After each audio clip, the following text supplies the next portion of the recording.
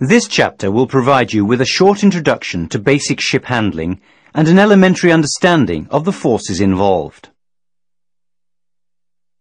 Merchant ship design is highly influenced by commercial and economic considerations of the various shipping trades. The handling characteristics are therefore not a primary concern for the ship designer.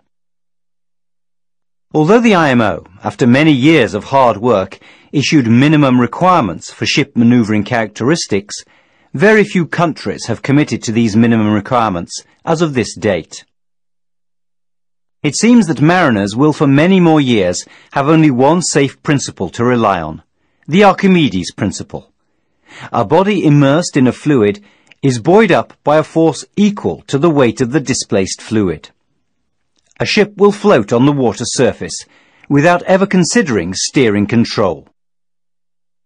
If an aircraft were constructed with the same principles as a ship, it would probably never be able to take off from the runway. Aircraft respond to precise inputs. Ships may or may not respond to precise inputs. Ship handling can be defined as the task of using forces under control to manage forces not under control.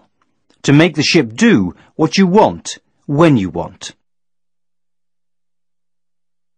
This may sound easy, but it can be very difficult in real life.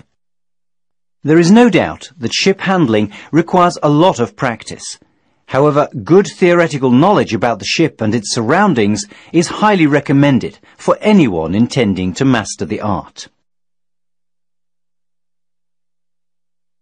A natural ship handler is a person blessed with the ability to make his ship do exactly what he wants, when he wants.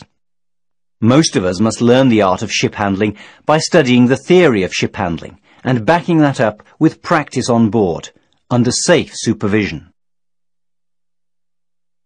As more ship handling simulators become available, you may get an opportunity to practice on a good ship handling simulator supervised by a qualified instructor. Simulator exercises supervised by professional instructors are the most efficient and safest way of ship handling training available today.